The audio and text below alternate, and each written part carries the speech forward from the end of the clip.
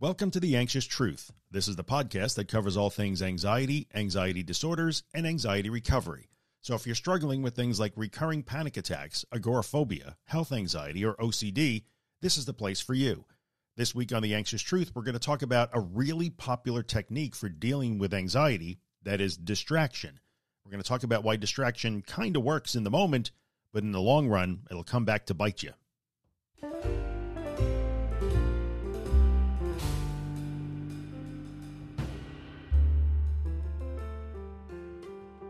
Hello, everybody. Welcome back to The Anxious Truth. This is episode 257 of the podcast, recording in May of 2023. In case you are listening in the future, I am Drew Linsalata, creator and host of The Anxious Truth.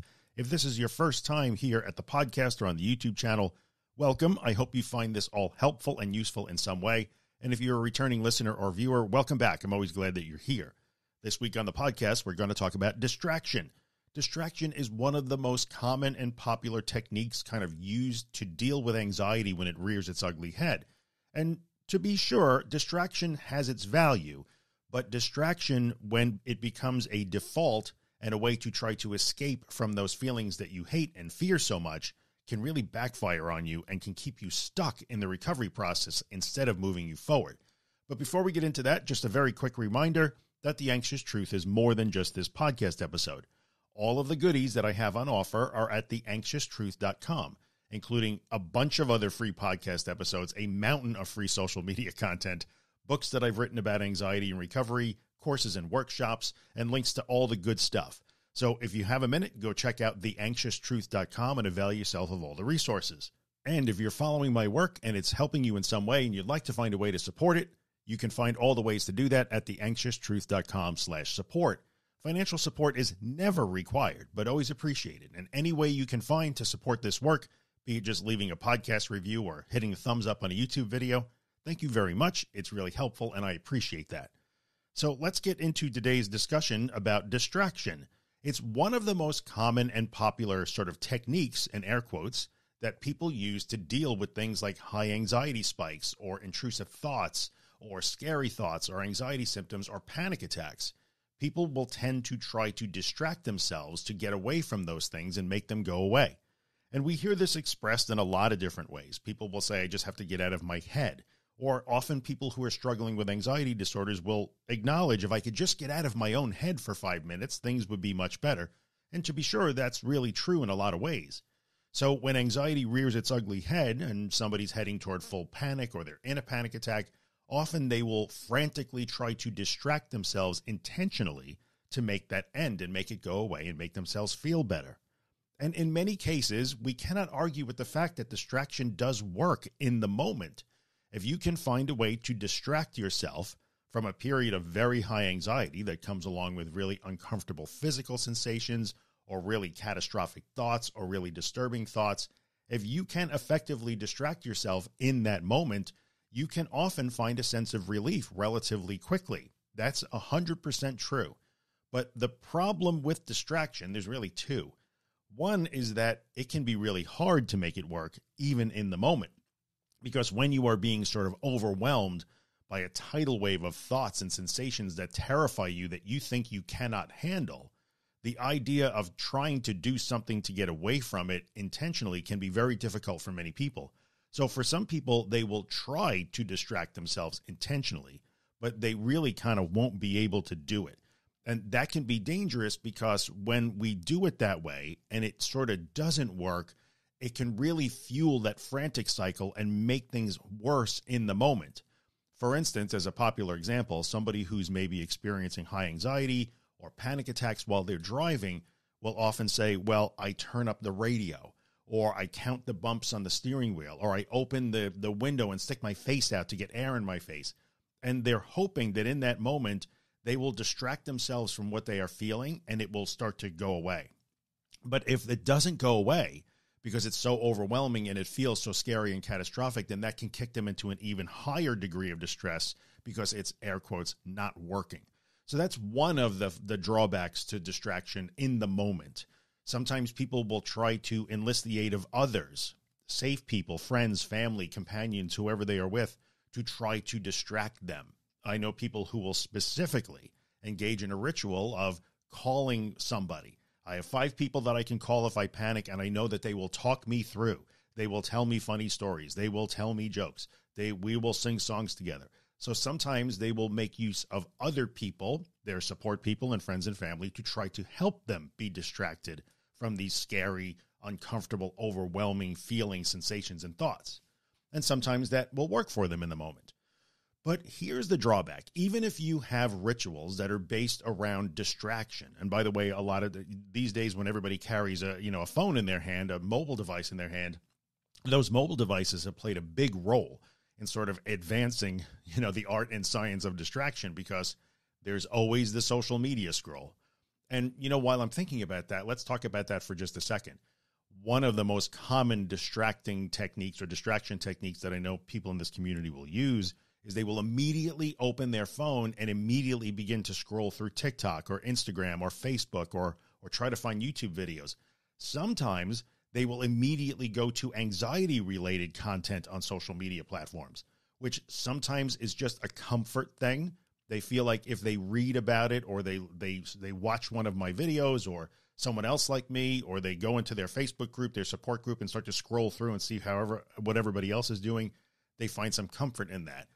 Sometimes that makes things a little bit worse because they can get triggered by what they see, or they are just using social media in general, whatever it happens to be, funny cat videos, or they're playing games on their mobile device.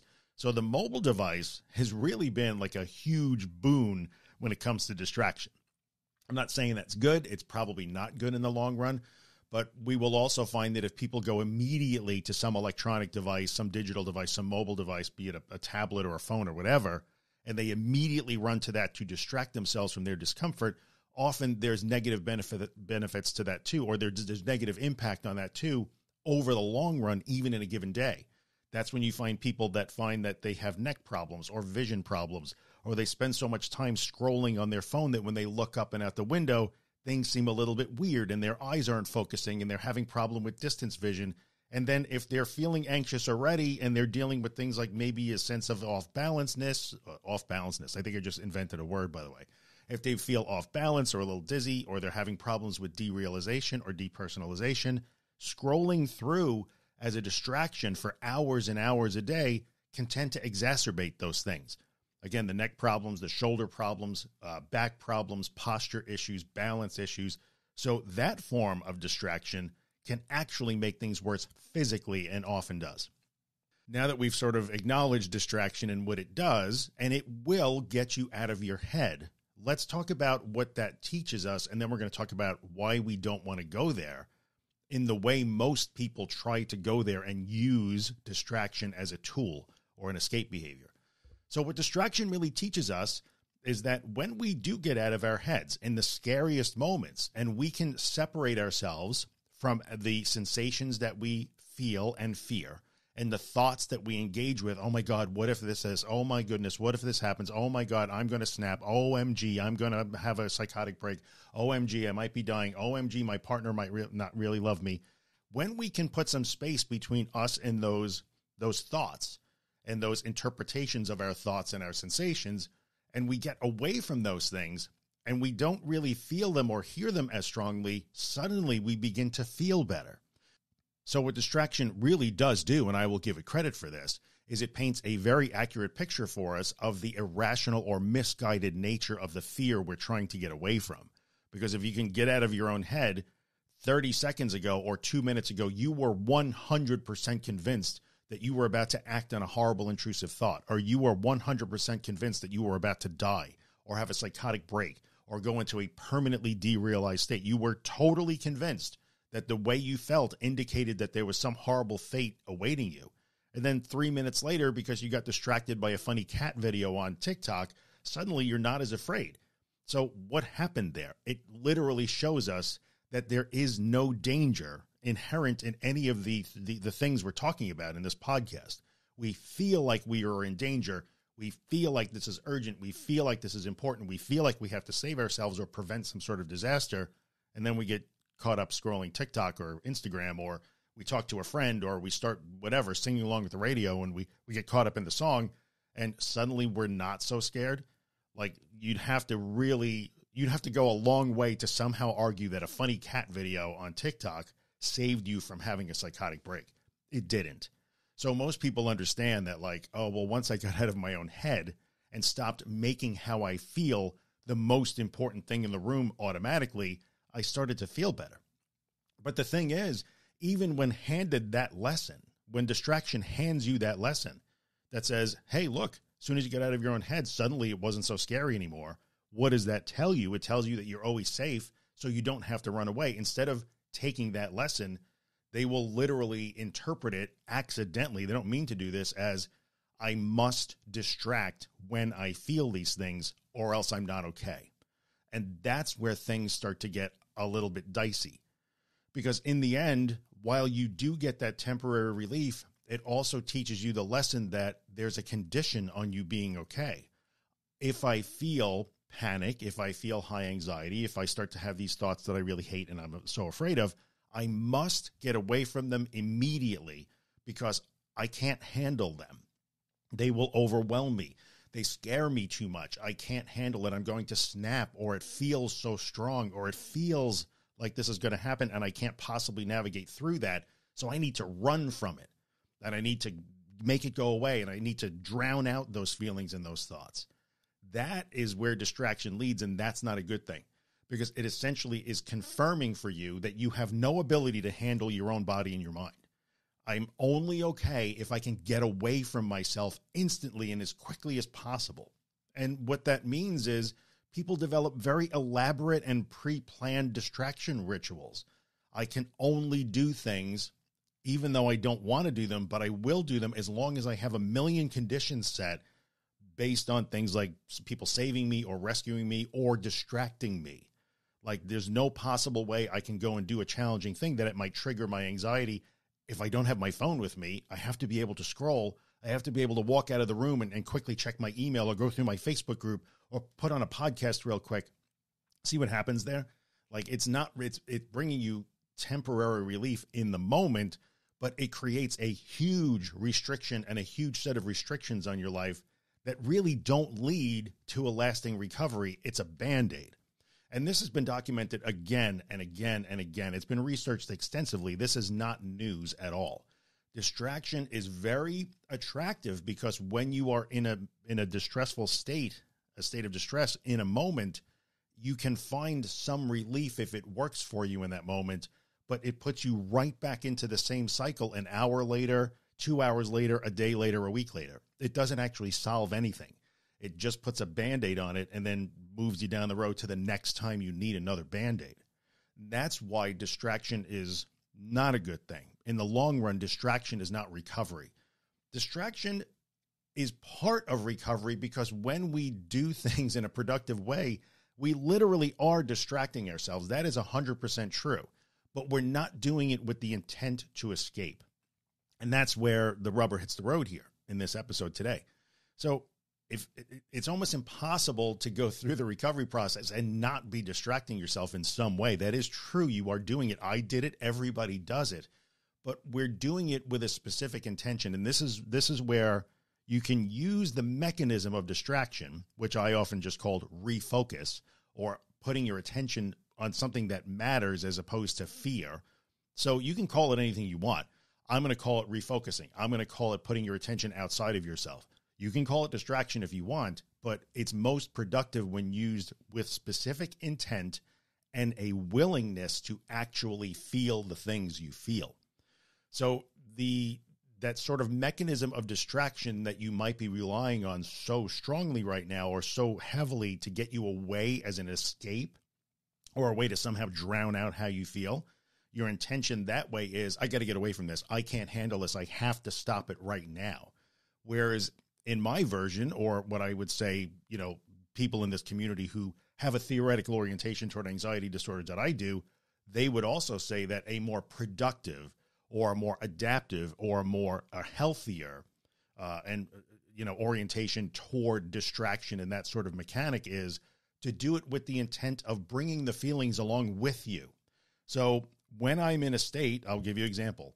When I'm in a state of depersonalization, I don't have to quickly run to my phone to turn on YouTube videos and TikToks to get away from it, I will choose to do something that I want to do. Maybe that's looking at cat videos. That could very well be. And if you like cat videos, by the way, that's fine. I'm not picking on cat videos. I like dog videos. So if you're doing it with the intent to get away from it, that's going to come and bite you because you didn't learn anything about your ability to handle this. You wouldn't didn't learn anything about your ability to navigate through this or tolerate it or surrender to it or whatever words you want to use that come out of our lexicon here. But if you have the intent to bring that uncomfortable and scary feeling with you, okay, I'm going to go watch this dog video that I really like while I feel the things. I'm not going to try to use the dog video or the song that I like or the scrolling through my Facebook support group to drown it out and make me feel better and save me. This is just a thing that I want to do right now. And I'm going to do it because a non anxious me would do this. And I'm going to bring the feelings with me and I'm going to allow them to play out, which means they might peak. This fear might get even worse while I'm doing this, but that's okay. Because in the end, the lesson there is I can do other things other than try to save myself. That is a critical lesson in recovery. That is a lesson that moves you forward into more a truer or a more lasting or durable state of recovery rather than just putting band-aids on every time you feel things you don't want to feel. So when is distraction when is distraction useful in the moment and also helpful in the long run when it comes with the proper intent i'm going to do a thing that i don't think i'm capable of doing right now but I'm going to do it while I feel this really uncomfortable stuff. And I'm going to just bring that with me and I'm going to let it play out any way it wants to play out while I do this distracting air quotes thing. And that comes only when you've developed a willingness to actually feel the things. So this is where things get dicey. They get difficult. They get unpleasant. Distraction will work if you are unwilling to face your fear, but it will only work from moment to moment to moment. It becomes a band aid and it gets you stuck in the cycle. Distraction can also work if you can cultivate a willingness to actually face the thing you fear without trying to save yourself. And when you do it with that willingness and a new set of intention, then distraction becomes part of the mechanics of learning that you're okay, even when you're sure you're not. So this is where distraction gets really complicated. Like it's nuanced, it's subtle nobody goes from like that maladaptive escape running saving distraction technique to a more productive healthy like forward looking distraction technique in a after listening to this podcast. I could talk for another three hours and give you all kinds of analogies and examples and try to make you understand the difference between you know this intent and that intent and having willingness or not but you have to just be willing to start to try it a different way. And over time you begin to develop that new skill set like, oh, yeah, I know what I can do here. I can just breathe. Some people will compulsively meditate as a distraction because they think it gets them away, it saves them. Whereas other people say, oh, I can do that thing where I focus on my breath while I'm terrified. And I'm going to let that fear peak and go back down while I just breathe. See the difference? It would look like the same exact activity to somebody looking from the outside, but from the inside, it's a very different experience. So I try to look, you've heard me, if you listen to the podcast for any length of time, you've heard me use the word surrender because I think it's a really accurate term for describing what we do when we like allow anxiety to peak and then fall. We surrender, we stop fighting it, we stop trying to save ourselves from it. When we, when we use sort of distraction mechanics, or I would say refocusing or engagement mechanics as part of that, what we're basically doing is we're developing a sense of active surrender like surrender is not a passive thing. And many sometimes it is. Sometimes we practice just sitting quietly. Sometimes depending on the context but surrender can also be an active process. I'm going to let this thing just drag me down kill me and make me crazy while i make this iced tea that i want to drink or while i whatever. It doesn't matter what you're doing. It doesn't really doesn't matter. Now in, in that respect and again this is a thing that you figure out over time. Nobody gets this right and don't get stuck with like, am I doing it wrong? Am I doing it wrong? Am I ruining my recovery? But really, the things you choose to sort of distract with, which I'm going to call refocus on or engage with, start to become things that actually matter to you. Like now, you will latch on to anything, anything, any scroll, any Instagram, any TikTok. It doesn't matter. Give me something to get away from this. But as you develop this skill of, be, of a more productive form of distraction or re-engagement, if you will, while afraid, you begin to integrate things that matter to you. Oh, I'm going to, I'm going to pick this album to listen to because I love this album, or at least I used to. So I'm going to put that on while I'm panicking. Oh, I'm going to make this particular lunch because I like that lunch while I'm panicking. I'm going to talk to my my best friend that I haven't talked to in three days because I miss her, and I'm going to talk to her while I feel this way. See the difference? Like you start to choose your distraction activities, if you will, distraction more intentionally because they align with with the life you want, as opposed to just being anything to get me out of this. That's how you can start to tell that there's a difference also. So this is a lot of words to try and explain again one of those sort of complicated recovery concepts that often don't make a whole lot of sense. But what I would ask you to take away from this as I tend to wrap it up because I want to, I don't want to go too much longer on this is think about how you are using distraction. How are you using it? Are you using it in an urgent, frantic, escape and saving way right now, which most people do, especially in the beginning of the recovery process? It's okay. You're not committing a crime if you do that. But ask yourself, when I go and immediately pick up my phone and start to scroll through all the anxiety accounts on Instagram when I'm feeling anxious, what am I doing there? Am I trying to get away from this? Am I trying to find some magic words that will make this go away or make me feel better or comfort me? Am I intentionally trying to escape from this because I am unwilling to face it? Well, that's not a very productive form of distraction. Instead, if you can say, well, I'm going to develop a bunch of things that I can do when I feel those things, and I'm going to bring them along for the ride, and I'm going to allow them to play themselves out. And I might not do the best job at the things I'm trying to engage in. I'm not going to be perfect. I'm probably going to be stumbly and fumbly, and I'm going to make mistakes, and it's not going to be pretty, but I can show myself that I'm capable, even when I'm terrified. So I'm not really distracting. I'm just trying to live my life the best I can while I feel these things and I let them play out to their natural conclusion. And that's a big ask because that's a scary, it feels like a scary, dangerous, risky thing to do. But that's where the mechanics of distraction really help us in the long run. So the first step is examine your intention. Look at your willingness. If you're still completely unwilling to face these things because you are still of the mindset that, no, no, no, I can't possibly face those. You don't understand how it feels, Drew. It's too much. Well, you, you haven't gotten to that point yet where you're willing to adopt that, that, you know, that change. You're not willing to be willing yet. And that's okay. Sometimes it takes a while for people to get there. Uh, but if you have that willingness and you're actually different in your intent when you refocus and engage in outside activities that are outside of your own skin and outside of your own head while you feel all the scary things, then you're, you're on the right track. And you might stumble from time to time and fall into old habits, and that's totally fine. It's, it's in the practice and the repetition. That's where we find our gold here. But um, yeah, that's why distraction, as popular as it is, and as default as it is for many, many people, uh, and you remember things like snapping rubber bands or calling a safe person. Remember when coloring books were huge? Adult coloring books a few years back were they were everywhere. Everywhere I looked, people were like, "Oh, I have my coloring books, and they calm me down." Uh, you might color because you're an artist or you just like to do that, and that's totally fine. But for instance, I would urge you if you have a stack of you know, coloring books with you, think about how you're using those. I'm going to color this in while I feel like I'm going to die, as opposed to I color this in because it makes me feel better.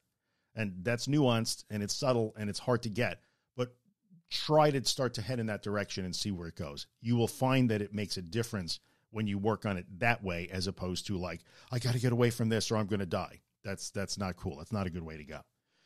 So there's my uh, 24 and a half minutes or whatever it has been on distraction, which is again longer than I thought I would go. I'm trying to keep these down around 15 to 20 and I cannot seem to do it. Hopefully they're, they're short enough for you guys so that I'm not just droning, even though I feel like I'm droning most of the time.